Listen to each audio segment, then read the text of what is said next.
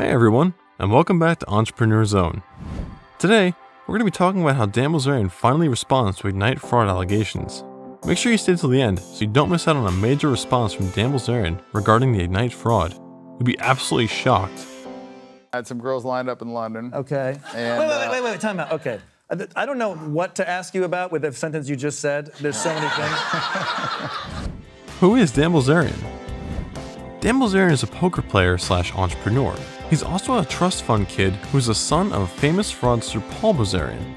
You may have heard of Dan, but it might be for all the wrong reasons. He has millions of followers on Instagram, where he posts all about his luxurious and highly expensive lifestyle. You'll see expensive wines, models and bikinis, island getaways, yachts, and more. Dan is in no way subtle. When he parties, he makes sure to go all out and spend as much as he can.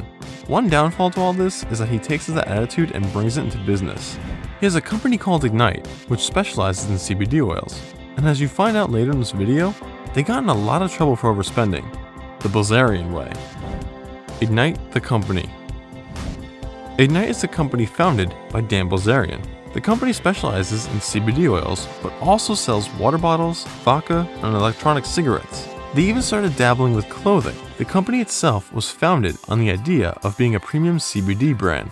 That idea was envisioned by Dan himself to reflect his own lavish lifestyle. Dan's idea of a good company involves a lot of parties and expensive products.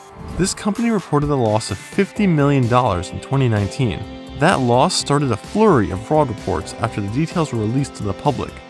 Looking at their website, you can find the key players in the business, the top dog obviously being Bilzerian. One person he tries not to publicly announce as part of the company's brainstorming team is his father. Yep, someone who's a convicted felon and is known to commit multiple acts of fraud has made his way into a huge and well known public company. He isn't even legally allowed to be a part of a public company. Now, let's see just how much trouble Ignite has gotten themselves into. Claims of fraud with Ignite. and so that kind of like, I think plays a part in it too. So I have to have the best food, I have to have the best cars, just to kind of like, Ignite got into quite a bit of trouble once it was publicly announced that they lost $50 million in 2019 alone. That is a huge loss. How could a company lose that much money? Well, the answer is simply because Ignite was irresponsible. They did make a decent amount of money through their products, but what they spent on leisure and recreational activities was too much for them to make a profit. How exactly were they spending the company's money? Well, Bilzerian loved to party, and each Ignite party had tons of expensive alcohol, models, and luxury houses. These parties could easily run millions of dollars in costs. Alongside that, some of Bilzerian's guns, stacks of money, and even models boasted the Ignite logo. So that must mean he was using company money to fuel his hedonistic lifestyle. One major issue that came into the spotlight recently was the firing of Ignite's vice president. It was stated by Bilzerian that he was incompetent. Once fired, he released a statement to the public giving the real reason for his release from the company. He stated that Bilzerian was upset when he wouldn't approve of the extreme budgets Ignite had. Some expenses called for items such as a $15,000 ping pong table and a $40,000 rock climbing wall. It was also found out that Ignite had been partially paying for some of Bilzerian's personal expenses, such as yacht rentals and trips to London. He even used the money from the company to buy laundry detergent. It soon became obvious that the company's spending was out of control. Additionally, a claim surfaced that stated that Paul Bilzerian, Dan's father, was helping make decisions for the company in meetings. All of these claims and public statements helped put Ignite into a bad light. Expenditure claims of Ignite. Ignite has been said to make some frivolous purchases, and many claims have large, unimaginable price tags. A former Procter & Gamble executive and previous Ignite vice president claimed that Bilzerian had expenses that included a $130,340 Bohemian photo shoot. These expenses don't make sense because they aren't useful to the company. They may help with marketing the brand, yet there are far cheaper ways to do that. Many believe the spendings are for Dan Bilzerian's own leisure, and he just uses the company as an excuse to go out and have parties and photo shoots all the time. There was also an incident involving the Paycheck Protection Program. It was a governmental aid that Dan made the former vice president write down as income when it clearly wasn't. Dan is also known to spend a lot of money on guns, and some of these guns have the Ignite logo on it. So are they bought with the company money? Would that explain the excessive loss the company experienced in 2019?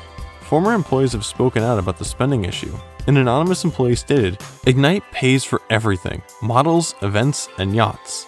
Dan would just have it wrapped with the Ignite logo, and all of a sudden it was an Ignite expense, and he would send the bill. pools, trampolines, his personal events that had nothing to do with the business.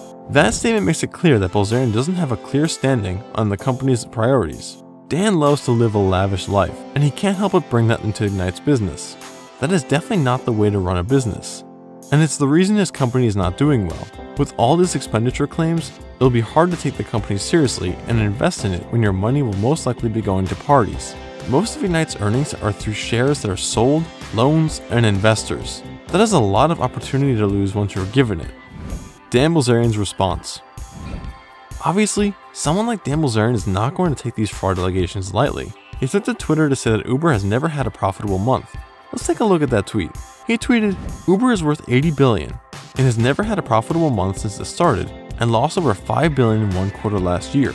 Someone responded to this tweet saying he hopes Ignite doesn't use shareholders' money to rent a $200,000 a month mansion. This user claims that that would be very bad money management. Bilzerian had to respond, and he said, I know 200,000 is probably a lot to a peasant like you, but I flipped a quarter with a buddy for 6 million. So, to recap, he compared his business's loss to a company like Uber, then went on to flaunt his wealth once challenged. Eric Newcomer in Bloomberg had a response to this comparison. He said, It's a routine cost for newly public companies though. Uber's is much larger due to the company's size, and investors are likely to forgive it as a one off. It was unfair for Dan Bilzerian to compare his company Ignite with a company like Uber, yet he did it to cover up his fault in the Ignite fraud scandal. He could have handled it a little better, yet the response was quite fitting for a character like him. The comparison is uncalled for as well, since Uber has yet to be caught spending company money on unnecessary and personal events. Ignite failed to make a decent profit because of its spending habit, which could have been avoided. They could have earned through their products if they were a little more careful with their money. More issues with Ignite. So we now know that Ignite hasn't been doing too well. Dan held high hopes for the company, yet they failed to properly deliver.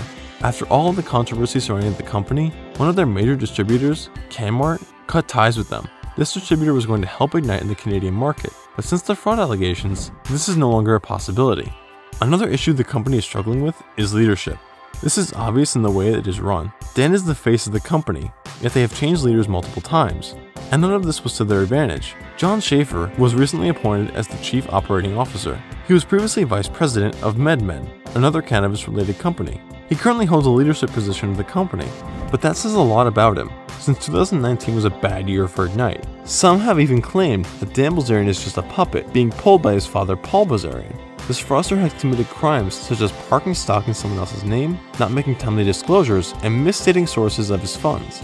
These acts have landed him 13 months behind bars. He's not allowed to run a public company, yet he may be helping Dan run Ignite.